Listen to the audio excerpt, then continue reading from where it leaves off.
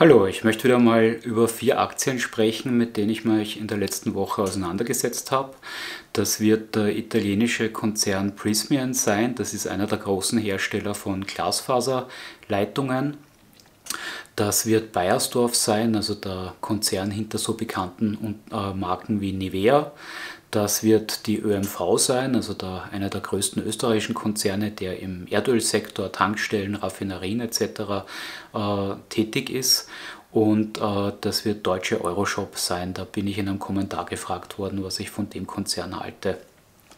Ja, euch ist vielleicht aufgefallen, dass die Videos in letzter Zeit ein bisschen weniger geworden sind. Also ich bin zurzeit relativ viel mit der Berechnung von Bilanzkennzahlen äh, beschäftigt rund um den 31.12., den die meisten Firmen als äh, Stichtag für die Bilanz haben, haben wir da immer Hochkonjunktur bin ich da immer in recht vielen Projekten involviert.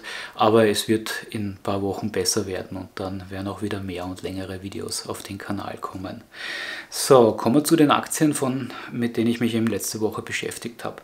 Prismian ist ein Konzern, mit dem ich mich schon seit Jahren immer wieder mal eher oberflächlich auseinandersetze, weil ich einfach die Technologie spannend finde. Die machen also irrsinnig lange Glasfaserkabeln, das sind teilweise die Kabeln, die Kontinente, äh, Erdteile miteinander verbinden. Äh, Glasfaserkabeln sind eine Technologie, die heute Basisinfrastruktur, also wie Strom, wie Gasnetze wie äh, die, die Wasserversorgung ist. Ja. Also ohne schnelles Internet läuft heute kaum mehr was. Und auch wenn 5G und so weiter und mobil kommt, ja, also die Funktürme müssen dann trotzdem noch mit Glasfaserkabeln miteinander verbunden sein und mit, den, äh, mit dem Backbone von, vom Internet verbunden sein. Das heißt, das ist auch eine Technologie, äh, ohne die es die nächsten Jahre nicht gehen wird. Und Prismian ist eben eine der großen, vielleicht sogar der größte Hersteller auf jeden Fall einer mit einem sehr hohen Anteil, Marktanteil in dem Segment. Hat 25.000 Mitarbeiter und sitzt, wie ich gesagt habe, in Italien. Ist momentan mit 8,7 Milliarden Euro bewertet. Äh, in den letzten Jahren wurde der Umsatz von ungefähr 10 Milliarden äh, gemacht. Das heißt, der Umsatz ist etwas höher als die Marktkapitalisierung. Äh, das Umsatz Kursverhältnis ist also, würde ich sagen, für die Technologie durchaus akzeptabel. Anders oder nicht anders, aber ein bisschen kritischer steht es beim Gewinn aus. Also wenn ich das Kurs-Gewinn-Verhältnis für die nächsten Jahre äh, mal versuche auszurechnen, dann bin ich bei Werten von ungefähr 20. Ja. Das zeigt also schon, dass die Kunden äh, des Konzerns wahrscheinlich große Telekom-Unternehmen sind, die eine ziemliche Marktverhandlungsmacht haben die Gewinnmargen bei Prismian sind also nicht so, dass die durch die Decke gehen. Auch der Gewinn, äh, der Umsatz geht nicht durch die Decke. Also in den letzten Jahren ist er stetig gestiegen, was äh, etwas Positives ist, ist aber auf Sicht von fünf, sechs Jahren äh, um ungefähr ein Viertel angewachsen. Ja. Äh, da ginge also durchaus, äh, könnte man den Eindruck haben, mehr. Dagegen sind die Verbindlichkeiten im selben Zeitraum um 60 Prozent gewachsen. Ja. Das ist also dann immer eher, was die Verschuldung anbelangt, ein Alarmzeichen, wenn die äh, wenn die Verschuldung deutlich schneller wächst als die Umsätze. Ja. Äh, oder anders habe ich es versucht mal in Relation zu setzen. In guten Jahren hat Prismian also ungefähr einen Konzerngewinn von 500 Millionen Euro. Das ist das, was in guten Jahren drin ist. In schlechten Jahren machen sie 250 Millionen Euro. Das ist also mal sicher positiv anzumerken. Ein Konzern, der auch im schlechten Jahr noch immer einen Gewinn macht, ist, das ist nicht selbstverständlich. Es gibt viele Konzerne, die öfter mal Verlustjahre machen. Das war bei Prisman in den letzten Jahren nicht der Fall. Allerdings gehe ich da eben an von am Gewinn, den, den ich auch für die Zukunft erwarte, wo er vielleicht ein bisschen höher sein wird, aber von ungefähr 250 äh, Millionen bis 500 Millionen pro Jahr. Und dem steht mittlerweile eine Verschuldung laut Bilanz von äh, 7,5 Milliarden äh, gegenüber. Das ist also schon ganz ordentlich. Auch wenn ich mal versuche, das einmal runterzudenken, was würde passieren, wenn der Konzern äh, 10% Zinsen auf das Fremdkapital zahlen äh, müsste auf die, auf die Schulden, dann wären das also 750 äh, Millionen. 10% sind jetzt vielleicht ein bisschen hochgegriffen, aber jetzt, wo man gerade über die Zinswende redet, also von 5% in einem Negativszenario für den Konzern, würde ich zumindest einmal drüber nachdenken, dann wären das pro Jahr 325 Millionen Euro, also ungefähr der Konzerngewinn, äh, der ist, der allein für die Zinszahlungen draufgehen würde. Ja. Also Prismian kann sich heute sicher deutlich günstiger verschulden als mit 5% Zinsen, aber nur ein Ansteigen auf 5% würde schon bedeuten, dass der Konzern seinen gesamten Konzerngewinn für die Zinszahlung aufwenden würde. Und das sind für mich Zahlen, äh, das ist alles in allem keine Katastrophe. Also wenn man sich die Eigenkapitalquote anschaut, dann liegt die bei gut 20 Prozent. Das ist für ein Industrieunternehmen weder ein Aushängeschild noch eben eine Katastrophe. Äh, ja, aber wieder mal so wie, wie die letzten äh, Male, wo ich mir den Konzern angeschaut habe, wieder. Ich werde also momentan nicht investieren, finde es aber nach wie vor ein interessantes Unternehmen, das also auch keine so schlechten Zahlen hat, dass ich sagen würde, nie und nimmer. Ja.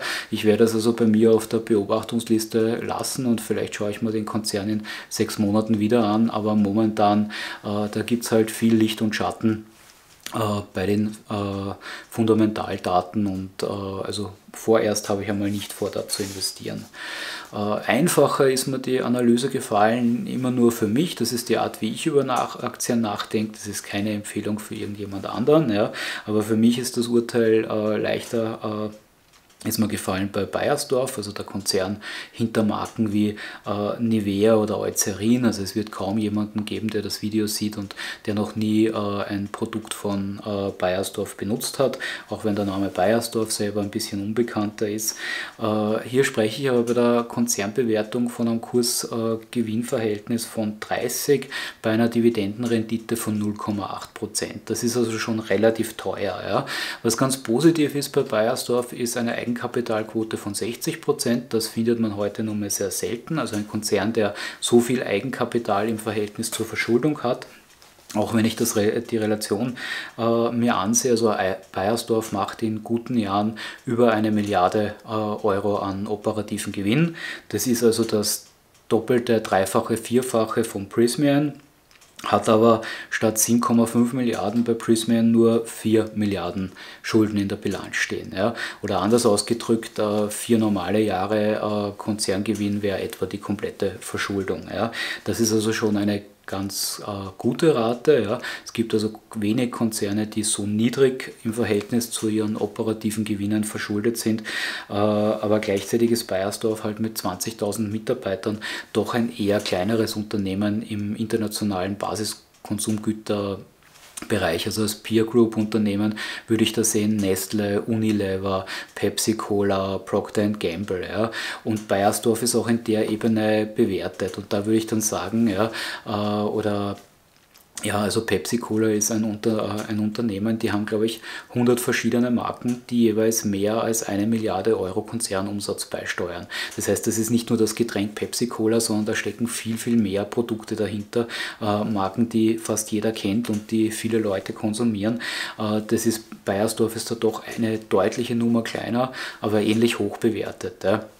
Also Bayersdorf ist für mich äh, ganz persönlich zu teuer da werde ich, äh, also ist auch im Gegensatz zu Prismian äh, nicht so, so, ich schaue mir das nochmal an, sondern Bayersdorf ist zu der Bewertungen, also wenn die Aktie nicht deutlich sinkt oder der Konzerngewinn explodiert, wäre das für mich einfach als Aktie zu teuer. Als nächstes habe ich mir ein paar Gedanken über die ÖMV gemacht. Die ÖMV, äh, also der österreichische Erdölkonzern, denke ich ganz regelmäßig nach, weil es eine der größeren Positionen in meinem Depot ist. Das heißt, den, äh, da schaue ich mir die Quartalszahlen, wenn sie rauskommen, wirklich immer relativ genau an.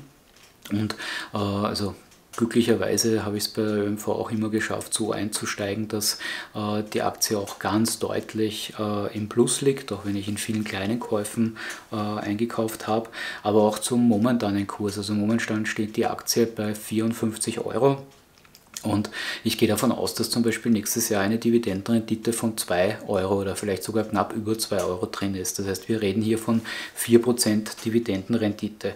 Ich gehe davon aus, wenn ich mir die Zahlen der Vergangenheit anschaue, wenn der Ölpreis nicht dramatisch einbricht, und das sehe ich momentan eigentlich überhaupt nicht als Risiko, oder ich ziehe immer alles in Betracht als Möglichkeit, ja, aber ich gewichte dieses Risiko mit, mit sehr gering. Ja. Das heißt, wenn der Ölpreis ungefähr in diesem Bereich bleibt, wo er jetzt ist, dann sind bei der ÖMV Konzerngewinne von 5, 6 Euro pro Jahr je Aktie drin und das bedeutet bei 54 Euro Kurs eben ein, ein Kursgewinnverhältnis von 10 oder von knapp un, unter 10. Ja. Das heißt, auf, aufs eingesetzte Kapital kriege ich äh, 4-5% Dividende raus. Ja.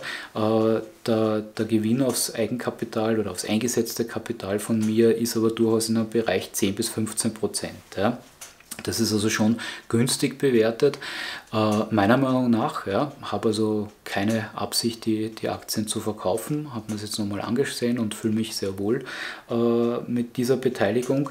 Man sollte sich aber natürlich immer die Frage stellen, warum ist eine Aktie recht günstig bewertet, attraktiv bewertet. Ja? Und natürlich gibt es bei der ÖMV auch Risiken. Ja? Also die ÖMV ist sehr stark auf äh, das Produkt Erdöl fokussiert, auch wenn sie durch Zukäufe, Beteiligungen äh, immer mehr breiter wird und in immer mehr äh, Chemieketten, also äh, Fertigung in der chemischen Produktion eingestiegen ist und auch ihr Tankstellennetz hat und so weiter, wo dann wieder Tankstellen, Supermärkte drin sind und so, aber das Kernprodukt ist doch noch äh, Erdöl und das heißt zum Beispiel, äh, die ÖMV hat in den Bilanzjahren 2015-16 ganz nennenswerte Verluste gemacht. Damals ist also der Erdölpreis deutlich runtergegangen, da waren Energieunternehmen im Allgemeinen sehr günstig äh, zu kaufen.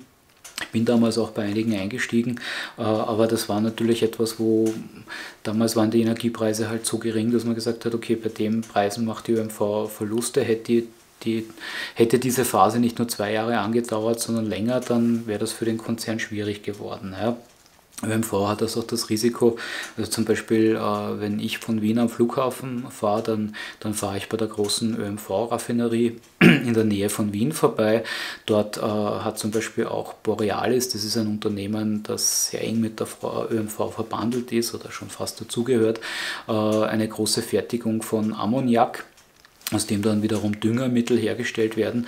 Da haben sie vor kurzem bekannt gegeben, dass sie die Produktion dort einmal stilllegen oder, oder zumindest nennenswert herunterfahren, weil die Energiepreise gerade so hoch sind, dass sich das am Wirtschaftsstandort Österreich momentan nicht auszahlt, Düngermittel äh, herzustellen. Das ist ein anderes Risiko. Ein, ein weiteres Risiko oder auch ein Pluspunkt, das kann man so und so sehen, ist die österreichische Staatsbeteiligung. Also der österreichische Staat ist mit 31,5 Prozent äh, an der ÖMV beteiligt. Äh, das heißt, äh, nicht negativ gesehen, dass man vielleicht bei Projekten manchmal mit politischem Druck mitmacht. Also die ÖMV ist zum Beispiel bei der Finanzierung von Nord Stream 2 äh, beteiligt gewesen, äh, wo halt schon klar ist, das ist ein Politikum. Ich weiß auch nicht genau, warum er das gemacht hat, aber es gibt auf jeden Fall mit dieser Staatsbeteiligung eventuell die Möglichkeit, dass manche Entscheidungen nicht nur rein wirtschaftlich gesehen werden, sondern auch politisch. Auf der anderen Seite gibt es natürlich äh, die Erwartungshaltung der österreichischen ehemaligen Großparteien, dass die ÖMV für erfolglosere Politiker, Familienmitglieder und so, die vielleicht sonst weniger Chancen Chancen haben, irgendwo gut dotierte Jobs schafft. Das ist aber auf der anderen Seite natürlich wieder ein Vorteil, weil wenn man äh, den, den, den eher einfach gestrickten Cousin von irgendeinem Entscheidungsträger im Unternehmen gut bezahlt unterbringt, dann hat man natürlich äh, auch einen, einen direkten Kontakt in die Politik hinein. Also das, das, das sehe ich als Anleger ganz pragmatisch. Da, da gibt es sicher gewisse Entscheidungen, die aufgrund der politischen, des politischen Naheverhältnisses da sind die jetzt für sich genommen äh, vielleicht äh, nicht ganz astrein sind, aber die auf der anderen Seite auch wieder Vorteile bringen. Ja. Das heißt, es gibt verschiedene äh, Risiken, die, die also auch erklären, warum die ÖMV mit Sicherheit billiger bewertet ist als wiederum Basiskonsumgüterhersteller wie äh, Nestle oder Unilever. Ja weil das Risiko auch wirklich höher ist, weil die Gewinne stärker schwanken.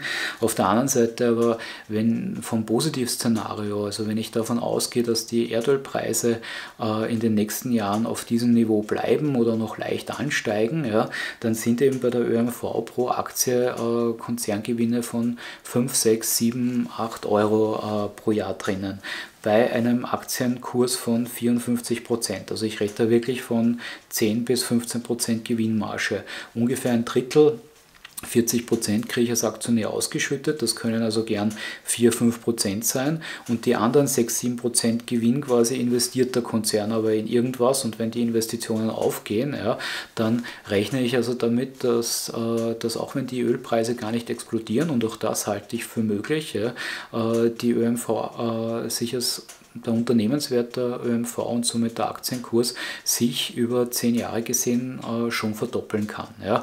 Das ist also das Positivszenario, von dem ich ausgehe, warum ich daran beteiligt bin, wollte aber auch klar darstellen, äh, dass es dass es äh, Risiken dabei gibt. Äh, und als letztes Unternehmen eben äh, deutsche Euroshop. Das ist also der Betreiber äh, von äh, vielen äh, Shoppingcenter in der Nähe von Großstädten in Deutschland, in Österreich, aber ich glaube vereinzelt auch in, in Polen, der Tschechei oder Ungarn haben sie, haben sie Projekte. Der Konzern ist trotzdem mit unter einer Milliarde bewertet, also ein, für die Konzerne, über die ich auf dem Kanal rede, eher ein kleineres Unternehmen. Äh, und hier habe ich mir die Konzernbilanz ein bisschen angeschaut, das ganze Geschäftsmodell ein bisschen durchgedacht. Ja. Und also kann, jeder soll über Aktien nachdenken, wie er möchte, aber mit meinen Gedanken in, in mein Portfolio passt der Konzern nicht rein. Ich würde hier, hier nicht investieren. Der Grund ist für mich, und man kann das sicher auch an anderen Ecken anders sehen, ja, aber äh, also während dem Corona-Jahr 2020 äh, wurden 250 Millionen Euro Verlust gemacht. Das ist also bei unter einer Milliarde Marktkapitalisierung schon ein ganz nenner, äh, nennenswerter Verlust. War zum Glück natürlich ein Ausnahmejahr, ja, 2020. Aber auch davor in den Jahren, ich habe mir also da die Konzernberichte relativ oberflächlich angeschaut, aber die, die operativen Gewinne lagen in den Jahren vor Corona bei 100 Millionen bis 150 Millionen Euro Gewinn pro Jahr.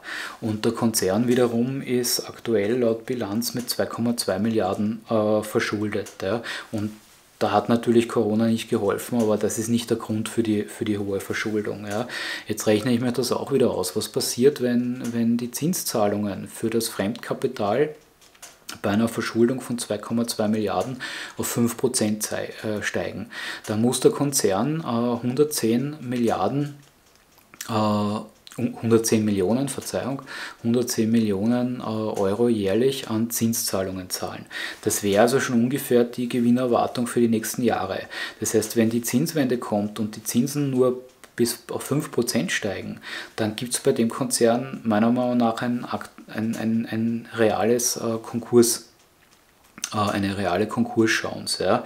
Äh, und also ich habe mir auch die Verschuldung ein bisschen angeschaut, da bin ich mir jetzt nicht sicher, ob, ob mein Eindruck komplett ist, aber äh, mein Eindruck ist, wenn ich mir also einzelne äh, Posten ansehe, dass der Konzern es schon schafft, sich äh, aktuell deutlich unter 2% zu verschulden. Ja. Das heißt, ich bin nicht bei 5% Zinsen, sondern ich bin bei unter 2%. Ja. Und damit muss ich äh, jährlich Zinszahlungen von 30, 40 Millionen machen und das geht sich eben bei 100 bis 150 Millionen Euro noch schön aus. Ja.